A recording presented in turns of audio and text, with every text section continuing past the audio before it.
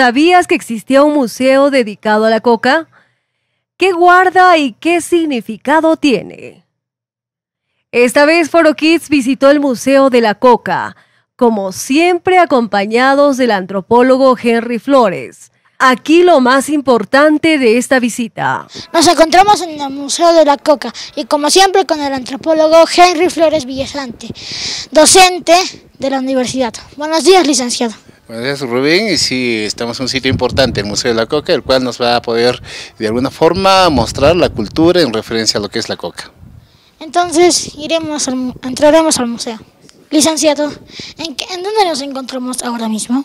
Nos encontramos en los ambientes del Museo de la Coca, que queda en Girón Ilave 581, a espaldas de la Catedral de Puno. Es un lugar céntrico donde todas las personas pueden visitar. Sin embargo, Jack también nos puede dar mayor información, que es el administrador del museo, Jack. Eh, precisamente, como lo mencionó acá el amigo Henry, sí nos encontramos en el Museo de la Coca y Costumbres, que está ubicado en el Girón Ilave 581, a espaldas de la Catedral.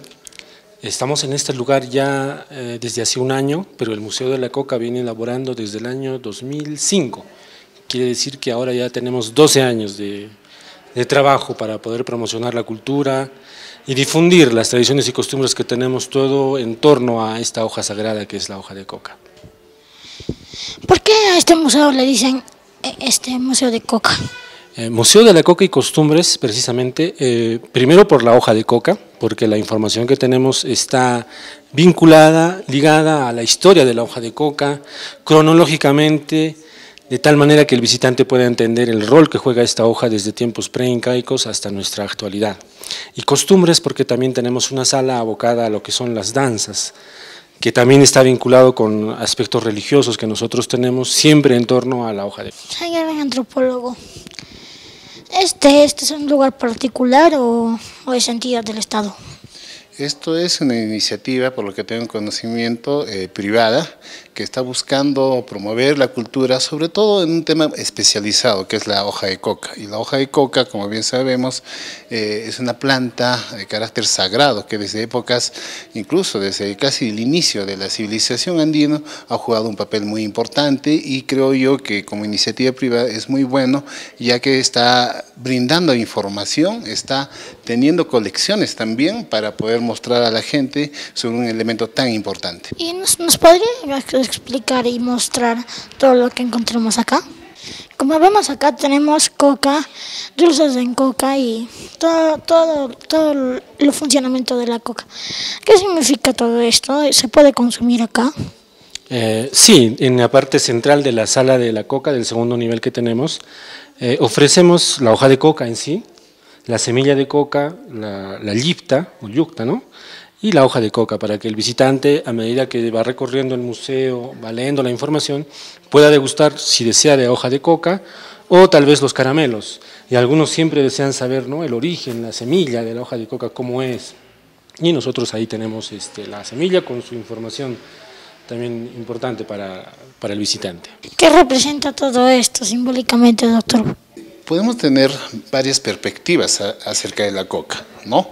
Hay quienes lo ven desde un punto, digamos, de vista de carácter moderno, occidental, que lo asocian, pues, a, digamos, a la utilización, sobre todo de la cocaína. Pero sin embargo, en el mundo andino tiene otra visión y este es el carácter que se trata de dar a través de la presente colección que se tiene en este museo. Porque la coca es un elemento sagrado y tiene una significancia muy importante dentro de los rituales. ¿no? Porque a través de la coca los chamanes, ¿no? la gente que tiene, digamos, algún acercamiento al conocimiento y también que sirve entre, entre lo divino y entre lo humano, a través de la coca pueden comunicarse con los apus, pueden comunicarse con la Pachamama y como ellos indican, la coca habla, pero no habla de un sentido, digamos, como estamos hablando así con palabras nosotros, sino a través de sus significados, ¿no? Porque leen la coca y esta se comunica a través de, eh, digamos, de pequeñas señas, ¿no? cómo queda la coca su, y tiene todo un significado que de alguna manera le sirve pues al poblador, ¿no? poder entender los designios, poder de alguna forma también saber lo que piden pues los apus, las deidades andinas. ¿En qué parte nos encontramos ahora? Nos encontramos al interior de la sala de la hoja de coca y precisamente lo que nosotros ponemos aquí para poder mostrar al visitante son las ofrendas rituales que se ofrecen hasta hoy en día en ceremonias a la Pachamama, a la Madre Tierra, a la Mamacota y demás, ¿no? Lo ponemos desde el punto de vista básico tal vez y de manera explicativa para que el visitante pueda entender mejor cómo es que se hace esta ceremonia y explicamos también la parte mágico-religiosa que nosotros hemos llamado a esta parte del museo. ¿Qué significancia nos está dando el doctor Yag? Bien, eh, primero decirte Rubén que el museo tiene que estar organizado, tiene todo un guion, y acá estamos en la parte religiosa, mágico-religiosa, ¿no? Y como fue una forma didáctica, nos ha colocado los diferentes misos o, misas o, las ofrendas, ¿no? De que también lo conocemos como pago. Y como vemos, podemos ver, la coca juega un papel importante, y son los quintus que se ponen con los deseos, con los pedidos que le hacen pues a los apus, a la Pachamama. ¿No? Entonces puedes ver en la forma. Hay diferentes formas de, pagos o de rituales, ofrendas, ¿no?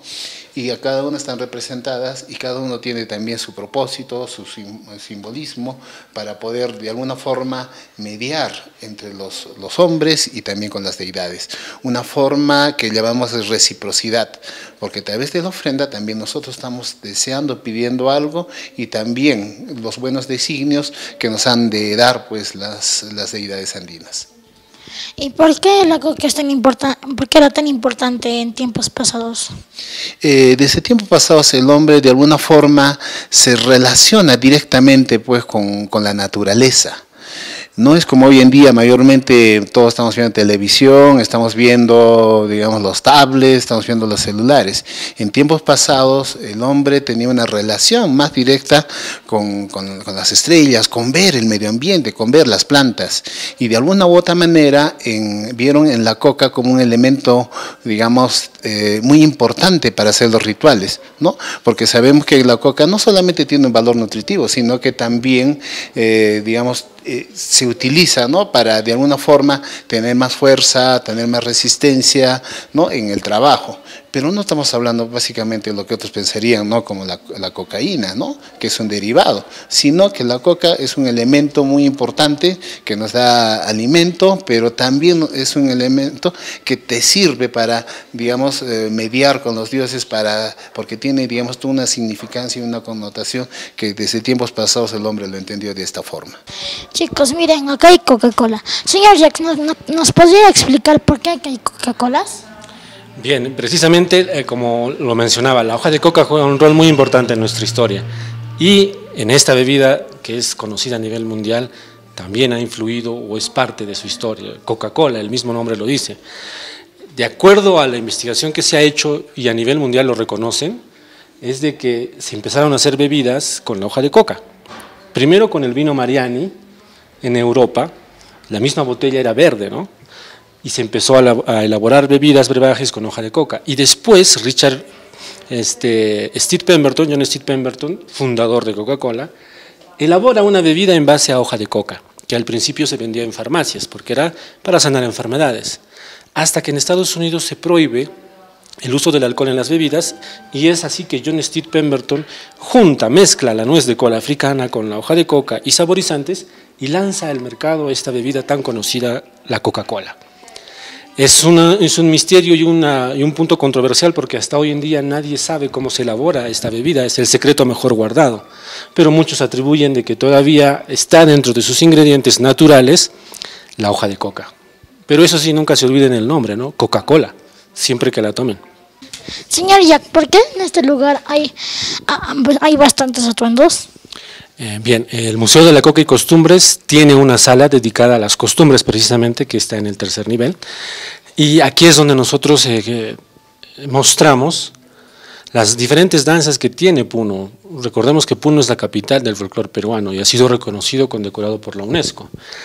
Y analizando también esta parte de las danzas que nosotros tenemos, vemos que está muy vinculado a la parte ritual desde la parte de las ofrendas, la, la, religiosidad que tiene el hombre andino, es que deriva las danzas, se danza por algo y en Puno por algo danzamos. Y lo que nosotros mostramos en esta sala de costumbres es el significado de cada danza, el por qué hasta hoy en día ha ido evolucionando y muchas se han preservado al devenir del tiempo y hasta hoy en día están practicándose, se siguen bailando y otras se están revalorando. Señor Henry, ¿cree usted que es importante mostrar esto? Sí, definitivamente. Yo quiero felicitar también a los que eh, tienen esta iniciativa de llevar adelante. A veces promocionar cultura no es tan fácil, pero acá, Puno, por su legado cultural, histórico, tenemos algo que resalta y son nuestras danzas y falta en Puno lugares donde se puedan, pues, digamos, eh, explicar, se pueda de alguna forma entender nuestra riqueza cultural en el caso de las danzas. Se habla de que tenemos más de 500 danzas, cada comunidad, cada centro poblado tiene su, su danza, sin embargo, con el transcurso del tiempo van perdiendo, van cambiando, van ingresando danzas que se ponen de moda y se pierde, se pierde todo un conocimiento que lamentablemente no tiene oídos y hay instituciones que deberían hacer hacerlo y no lo están haciendo para proteger esta, este patrimonio. Cada danza es una historia, cada danza eh, cuenta algo sobre nuestra historia, sobre nuestro pasado, caracteriza también a los personajes, caracteriza a los dioses míticos andinos que de alguna forma están expresados en los bordados, también en los colores. Sabemos que desde la época de los incas la danza era muy importante, la danza era prácticamente, digamos, una actividad que incluso se hacía para, para la guerra, pero hoy en día nuestras danzas de alguna forma son testigos de aquello, de todo aquello, y sin embargo falta promocionar.